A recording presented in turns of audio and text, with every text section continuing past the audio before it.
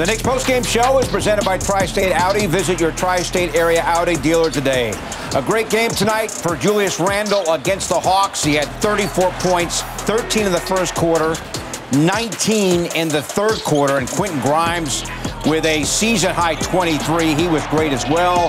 Knicks with a dominant win. RJ Barrett and company with their first back to back wins in three weeks as the Knicks blow out the Hawks tonight 113 to 89. Great to have you with us from our Delta MSG studios. Bill Pidto, Alan Hahn, and Wally Szczerbiak. So Atlanta undermanned Alan to begin with. The Dejounte Murray hurts his ankle three minutes in, but that should not detract from what, again, was a great Knicks defensive performance. Yeah, so they're missing three starters in this game. Well, they started, they missed three starters once you were about three minutes into this game, but you play who's in front of you, and you got to take care of business on your home court. See, I'm learning, Wally. I'm learning all the things that you've told me to keep in mind, especially in your home court. But they have needed to get to a point where they were playing confidently on their home court and Julius Randle saw, saw no DeAndre Hunter in front of him, and he went right at it from the very start. Set a tone early, and Quentin Grimes picked up from it. And now this is this nine-man rotation that has defensively gotten after it. Deuce McBride, Quentin Grimes as well, getting after it defensively and holding the team under 90 points. So this is good things to see now. Keep building on this. Yeah, this is the identity I think the Knicks yep. envisioned having to start the season, being a team that's on. Un- that's no fun to play against. You come into the Garden, you're going to have to grind out a win.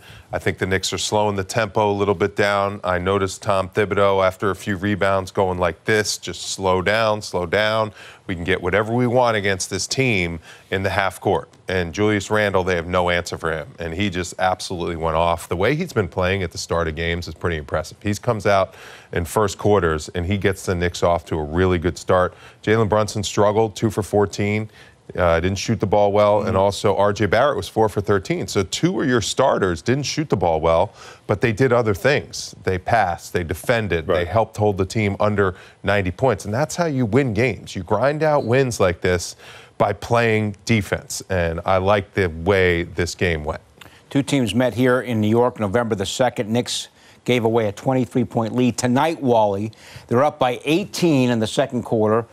Atlanta goes on a 17 0 run to get within one, but probably the key segment of the game. End of the first half, Knicks stabilize and go up by 12 at the half. Well, they stabilized because the starters came back in the game. And without those three starters that you alluded to, Alan, now that Dejounte Murray went, went out, without, um, without the other two guys, Collins and DeAndre Hunter, the starting unit could dominate this game, and that's what they did. It starts with their defense. There, Quentin Grimes running the floor. He's the beneficiary of that easy two. And it also starts with Julius Randle just attracting a ton of attention and having to double team him and having a monster performance. I mean, he was outstanding, not turning the ball over, getting the ball to the right spots on the floor. He absolutely dominated this game. And this is a good feel good win. That's two in a row for this Knicks team. I like the identity and the rotation, the way it's setting up um, you know, Tom Thibodeau is looking really smart with what he's doing. Again, the Knicks doing a great job in terms of holding the other team's field goal percentage way below normal 37.6% Atlanta shooting overall, and 6 of 36. That is all for them from downtown. We're now joined by RJ Barrett. RJ, congrats on the win, and thanks for joining us. Tell us about that second quarter. You guys were up 38 20. Hawks then went on a 17 0 run to get within one, but then you guys were able to stabilize and take a 12 point lead at the half. Um, I mean, you know, it's, it's one of those things where you know a team is always going to fight back, especially a team like Atlanta with their you know with their shooting and, and you know they have Trae Young. You knew they were going to make a run, but uh, we were able to you know withstand that and uh, play our game, and we ended up getting a, an even bigger lead. RJ, I mean, you guys had had some struggles at the Garden. How important has it been now, these last couple of games, to feel it again, to feel a win walking off the floor at home? Yeah, it feels great. You know, we try to always want to uh, always want to give you know a win to the fans. Try to you know want them to come in here and, and have fun. You know, as much as we can every every single night. Um, as well as you know the defense has really really picked up past couple games. So it's it's been fun to be a part of.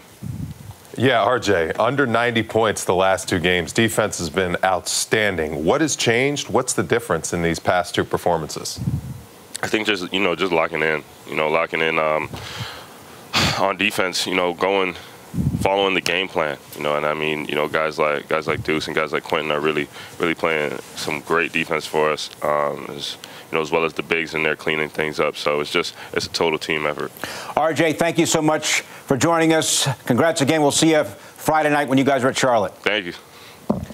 Of note here, Cam Reddish and Derrick Rose out of the rotation Sunday, out of the rotation tonight. Tom Thibodeau talked just about the entire pregame, all of his comments about this reduced, condensed rotation with Deuce McBride in there, Reddish and Rose out there. He, not in there. He thinks this is the best way to win, and, and there's some evidence that the defense is better this way. Well, that's exactly, I think, what the, the rotation, when you look at it, the focus is on defense. And you're bringing in a player like Deuce McBride who can fight through screens, who will get stay in front of his man, who is somebody that recovers quickly on screens as well. He's not going to get stuck.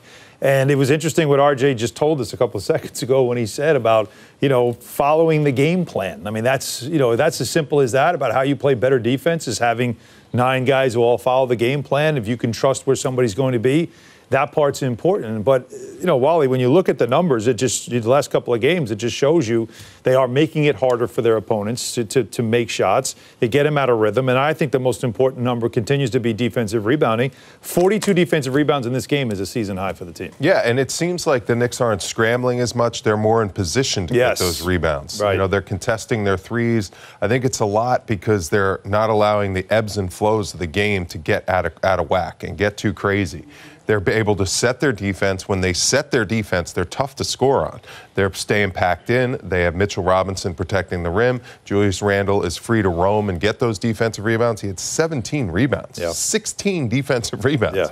That's Monster that. That's a stat. Yeah. You know, just phenomenon for you. You're going to be yeah. talking about that for the next three weeks. Well, that's but that's that's all that's you talk 16. about is defensive rebounds. So there you go. It's critical. 16. That's 16 times they stopped the Hawks. Yeah. 16 stops with that's, a rebound. That's big. That's huge. That's, that's huge. how it works. Yeah, that's that works. That's why it's important. That's why I keep bringing it it's up. It's not a useless stat, Wally. It's no, it's not. When it proves itself correct. And Julius Randle is doing his job yeah. at the defensive boards. How about on the offensive end of the court, guys? I mean, when Randle, we, we talk about it a lot. When he starts off like he did tonight with 13 points in the first quarter, it really changes the entire complexion of the rest of the game. Yeah, he comes out against certain teams. He did it against, uh, uh, I remember the Timberwolves early on in the season. He just said, nobody can guard me out mm-hmm. here. And he just gets aggressive. He trusts his three point shot. He was three for three from the three point line in that first quarter.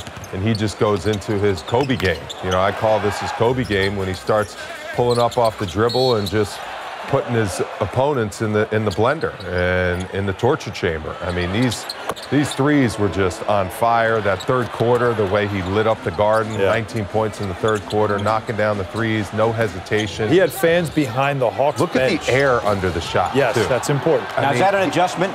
No, it's just legs. when you get into rhythm, mm-hmm. you just let that thing go. Mm-hmm. You don't even think about it. Sometimes we see when he struggles, he guides it, you know, and he almost steers it and tries to get it to go in.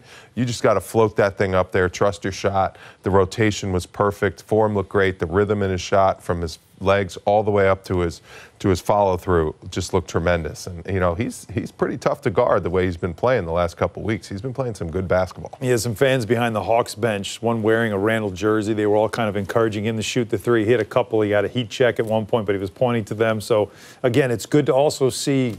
Julius, have some fun with the Garden crowd. Yes. You know, that's also yes, important. Get comfortable playing here again, feeling good about yourself. But, you know, it's remember, I mean, the Hawks have been kind of his kryptonite. Yes. Remember back in the playoffs two years ago, yeah. they would play a zone. They were sending length at him. Yeah. Capela and Hunter, and he just had a hard time finishing. But when you take Hunter out of the equation, Capela's still in the game. I mean, Capela's still there to try to like follow him around and make life miserable.